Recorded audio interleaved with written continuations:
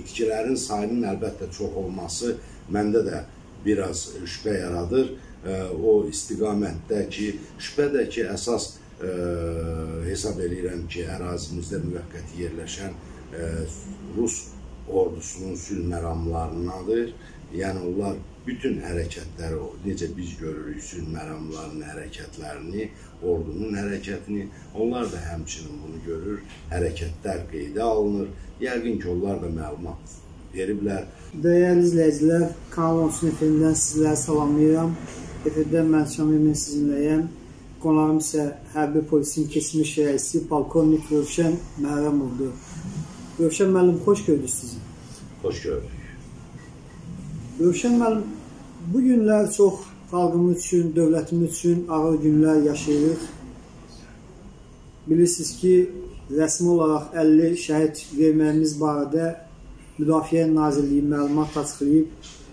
Vətən müharibəsinin üzərindən 2 il keçməsinə baxmayaraq, bu günlərdə 50 şəhid verməyimizin səbəbi nədir? Bu, orduda təminatın olmaması, nə ilə əlaqədardır? Ümumiyyətlə bu ötən 2 il ərzində müdafiə xəttində istehkamların qurulmaması kimi problemlər varmı? Əvvəla Şama müəllim, mən öz minnətdarlığımı bildirirəm Kanal 13-ün rəhbərliyinə. Bir də xalqımızı salamlayıram. Allah şəhidlərimizə rəhmət eləsin, yaralılarımıza isə şəfa versin.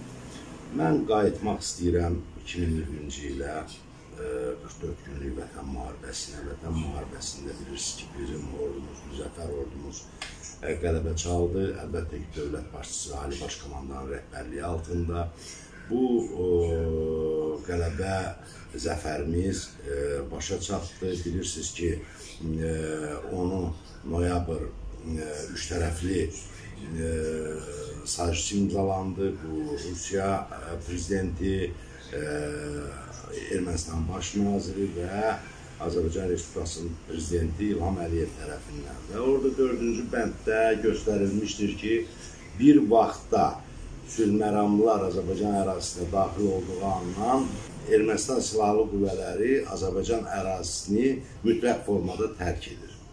Biz nə gördük?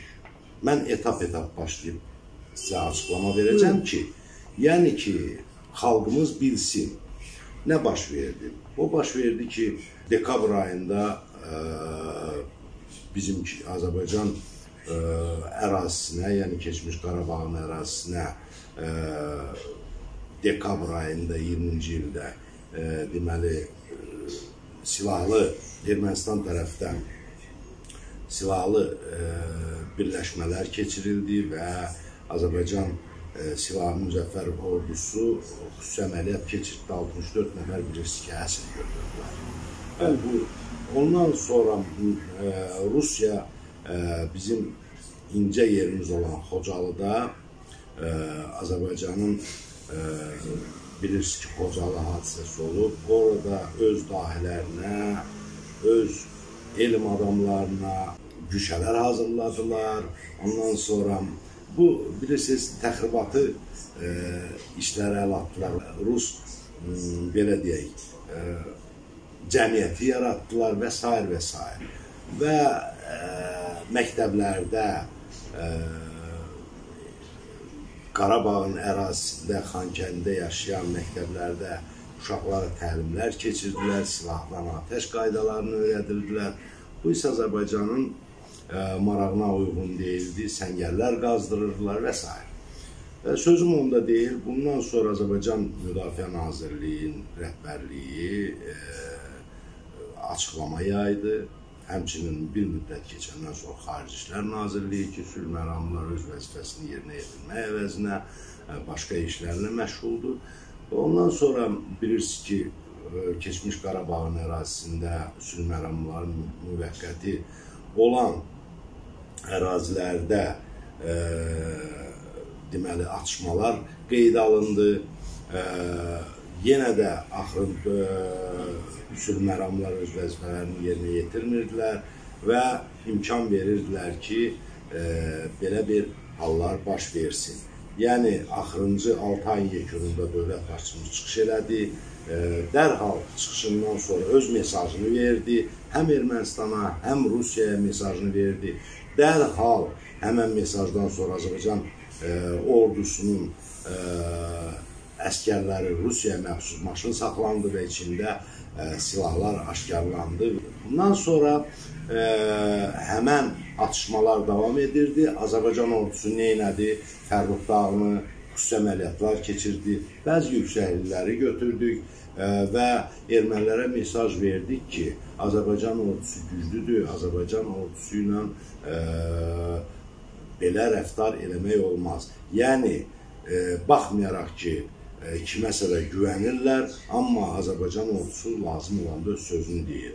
Bundan sonra başladılar sərhəd pozuntusuna. Yəni dövlət sərhəd pozuntusuna. Laçında, Kəlbəcərdə, Daşkəsəndə, Gədəbəydə və başqa dövlət sərhədlərimizdə atəşkəs pozdular.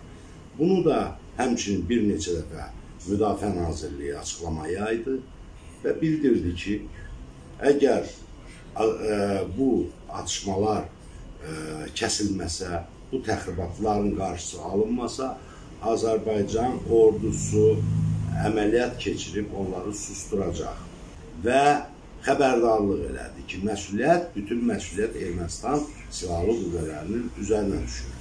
Bilirsiniz ki, Ermənistanda Qarabağ klanı var, onlar güclüdür, Kaçeryanı, Sarkisyanı, keçmiş müdafiə naziri Ahanyanı və bunların ə, e, hələ də nəzarətində olan Ermənistan ordusunda xidmət edən ə, e, qüvvələr var, hansı ki, daim e, atəşkəsi pozmaqda maraqlıdır, münaqişə yaratmaqda maraqlıdır və bu elə bir münaqişələr tez-tez baş verirdi. Və nəhayət demarkasiya, delimitasiya məsələsi var idi və bilirsiniz ki, bugünkü günə kimi o delimitasiya məsələsi hələ də öz həllini tapmayıb və bu atəşkəslər tez-tez intensivləşdi və tezləşməyə başladı. Azərbaycan nə etməli? Azərbaycan hələ Ermənistan dünənləri bilirsiniz ki, açıqlama verirlər ki, Ermənistan ərazisinə keçmişik. Yəni hələ delimitasiya, demarkasiya məsələsi olmuyor. Yoxdur, hələ bilinmir. Necə biz Ermənistan ərazisinə keçə bilərik, müdaxilə edə bilərik? Azərbaycan sadəcə olaraq e, bilirsiniz ki, e, Ermənistan tez-tez təxribat törədir artıq sərhəddə. Azərbaycan ordusu, Azərbaycan hökuməti, dövləti, dövlət başçısı başda olmaqla, Ali Baş Komanda başda olmaqla bir tədbir görməli idi və bunların təxribatının qarşısını almalı idi. Və e, mən axırıncı çıxışlarımda demişdim, mütləq formada bufer zonası yaranmalıdır ki, e, necə bufer zonası yaranmalıdır ki, bu e, təxribatların qarşısı alınsın, bu təxribatlara yol verilməsin, itkilərimiz olmasın və s. Və e, axırıncı təxribatdan sonra Azərbaycan Silahlı Qüvvələrinə əmr olundu. Yəqin ki, e, xüsusi əməliyyat keçirtdik, tədbirlər gördük. Əlbəttə ki, e, bilirsiniz ki, şəhidlər vermişik. Bir daha onlara Allah rəhmət eləsin. Bəli, şəhidlərimiz çoxdur. 50 nəfər böyük bir rəqəmdir. Belə əməliyyatda şəhid bilirsiniz ki, müharibədə də, savaşda da şəhidsiz olmur. Bu Amma özü istəyirəm, bu çox deyilmi həddindən artıq e, Rövşən müəllim? Biz qeyd etdiyim kimi e, müharibədə qalib gələn dövlətik təslim olan e, bir dövlət Ermənistan necə ola bilər ki, bu qədər bizə itki versin? E, burada ə, sizcə bir ə, satqınlıq ola bilərmi? Biz bilirik ki, siz uzun illər hərbi polisin ə, rəisi olmusunuz. Yəni müşahidələriniz ə, hansı səviyyədədir? Bilirsiniz, bax Şamo müəllim. Siz satqınlıqdan deyirsiniz. Rusiya sülh məramları hərbi bizim hərəkət başlayan zaman Əlbəttə ki, onlar bunu görür. Yəni, Rusiya sülh məramları Azərbaycanın ərazisində müvəqqəti yerləşir və bunu görürlər. Əlbəttə ki, görürlər və xəbər də verirlər. Ermənilər də belə görürəm ki, artıq uca bilirdilər bizim əməliyyat keçirməyimizi. Yəni, onlara artıq xəbər vermişdi ki, bunlar ə, nəsə ola bilər belə bir hadisə baş verə bilər. Ermənilər də hazır olduqları üçün belə bir təxribat yaratdılar ki, e, bu atışmalar baş versin və e, lokal toqquşma olsun. Bu təxribat idi. Bilirsiniz ki, e, gecə ilə Birləşmiş Millətlər Təşkilatı toplaşmağı bu nə deməkdir? Yəni bunlar buna buna da hazır idilər və bu ə, məsələdə, yəni mən hesab eləyirəm ki, ə, satqınlıq olub və bu itkilərin ə, səbəbləri elə səbəblər var ki, siz də Bakıdasınız, mən də Bakıdayam. Ola bilər biz bilmirik. Hansısa da ə, məsələ açıqlanmamalıdır. Nə biz buradayıq, bizim xəbərimiz yoxdur. Hansısa da bəlkə bir məsələ olub, hansı ki biz bilmirik yerində o, yəni bu itkilərin sayının əlbəttə çox olması məndə də biraz şübhə yaradır. O istiqamətdə ki, şübhə də ki, əsas ə, hesab eləyirəm ki, ərazimizdə müvəqqəti yerləşən ə, Rus ordusunun sülh məramlarındadır. Yəni onlar bütün hərəkətləri, necə biz görürük sülh məramlarının hərəkətlərini, ordunun hərəkətini, onlar da həmçinin bunu görür, hərəkətlər qeydə alınır. Yəqin ki, onlar da məlumat veriblər, e, belə bir hal olmağı mümkündür. Amma ki, yenə də deyirəm, Allah şəhidlərimizə rəhmət eləsin. Amin. E, əlbəttə ki, burada sülh məramlıların e, rolunu qiymətləndirməmək olmaz. Çünki onlar bizim müvəqqəti ərazimizdə yerləşir, bizim ərazimizdə e, yerləşirlər və bütün hərəkətlər onlar tərəfdən də müşahidə olunur. Qoşunların hərəkəti, necə biz onları müşahidə edə bilirik ki, onlar hara hərəkət edir, necə hərəkət edir. Həmçinin onlar da bunu mən hesab edirəm ki, onların e, xidmətləri var. Ermənilərə yəqin ki, xidmət göstəriblər, hər hansı bir koordinatları veriblər və onun nəticəsində hesab edirəm ki, belə itkilər ə, e, sayı çox olub və bilmədiyimiz məsələlər də var. Hansı ki, o barədə mən bilmirəmsə də açıqlama vermək fikrimdə yoxdur. Rövşən müəllim, e, sosial şəbəkədə insanlar çox e, bu məsələ ilə əlaqədar etirazlarını bildirənlər var ki, bu qədər niyə itki vermişik deyə sual edirlər. Eyni zamanda qeyd edirlər ki, bu qədər itki verməyimizin səbəbi Müdafiə Nazirliyinin rəhbər şəxsləridir. E, hətta nazir Zakir Həsənovun istifasını tələb edənlər var. Ümumilikdə hətta rəhbər heyətin istifasını tələb edən şəxslər var. Sizcə e, Müdafiə Nazirliyinin rəhbər heyəti bu qədər şəhət verdiyimizə görə istifa verməlidir yoxsa necə? Mən bayaq qeyd elədim Şamo müəllim ki, biz bilmədiyimiz məsələlər var. Döyüş şəraiti necə keçir, nə mən bilirəm, nə bizim ictimaiyyətdəkilər bilir. Bəli, istefa tələb eləyə də bilərlər. Amma ki, bu təhlil olunmalıdır baş qərargah tərəfindən, Müdafiə Nazirliyi tərəfindən ki, bu itkilərin səbəbini biz araşdırmalıyıq. Bu səbəbi araşdırıb, təhlil edib, dövlət başçısını məruzə edəcəklər. Əlbəttə ki, bizim dövlət təhlükəsizlik xidmətimiz var, başda Əlin Ağayev olmaqla, başqa qurumlarımız var, tək Müdafiə Nazirliyi, ordunun baş qərargah rəisi məruzə eləmir, başqa ə, e, güc strukturlarımız da məruzə eləyirlər səbəbi. Yəqin ki, bu səbəblər araşdırılıb, təhlil olunmalıdır. Ola bilər, o dağ şəraitidir, ermənilərin bayaq qeyd elədiyim kimi ruslar tərəfindən e, ərazimizdə müvəqqəti ə, yerləşən rus qoşunları tərəfindən məlumatlandırma ola bilər. Hər şey ola bilər. Hər şey ola bilər. Bəli, buraxılmış səhvlər də ola bilər. Yəni bunu biz dərindən bilmirik. Yəni o təhlil olunmalıdır və ə, e, təhlildən sonra e, Müdafiə Nazirliyi Azərbaycan ordusunun baş qərargahı açıqlama verməlidir. E, səbəbləri ə, nə nədir? Əgər real bilirlərsə də ki, bunun səbəbini açıqlasın, yəqin ki, açıqlama verərlər. Əgər ə, real məsələ e, dövlət əhəmiyyəti kəsb edirsə də, yəqin ki, o açıqlama olmayacaq. Amma hesab edirəm ki, e, bu məsələ e, şəhidlərimizlə bağlı təhlil aparılmalıdır və səbəbləri araşdırılmalıdır. Necə düşünürsüz? E, itkilərimizin artması ehtimalı varmı? Hətta bu günlərdə açıqlanan məlumata görə e, Ermənistan silahlı qüvvələri Azərbaycanın Kəlbəcər, Laçın istiqamətində mövqelərini artilleriyadan atəşə tutdular. Bilirsiniz, bax, ə, deyirik də bu xalq əlbəttə ki, görmür, deyir şəhidlərimiz var. Şəhid olmalıdır, döyüşlər gedir. Say çox da ola bilər, az da ola bilər. Amma bir şeyi yaddan çıxartmamalıyıq ki, Azərbaycanın müzəffər ordusu düşmənin bütün hərbi hissələrini sıradan çıxardılar. S-300-lər məhv edildi yəni hava hücumundan müdafiə qoşunlarının S-300-ləri, başqa-başqa qurğuları, hansı ki divizyonları ə, e, sıradan çıxarılır. Yəni bu Ermənistana elə bir zərbədir ki, yəni e, həm material baxımından, maliyyə baxımından, həm e, onların ordusuna dəyən bir zərər və zərbə hərbi hissənin məhv edilməsi nə deməkdir? yəni Ermənistanın ərazisində e, mən bildiyimə 3 alayın dislokasiya olan hərbi hissələri e, yəni ki sıradan çıxarılıb, texnikaları məhv edilib. Bu böyük bir zərbə idi. Mən deyim sizə ki, Ermənistana olan böyük zərbə.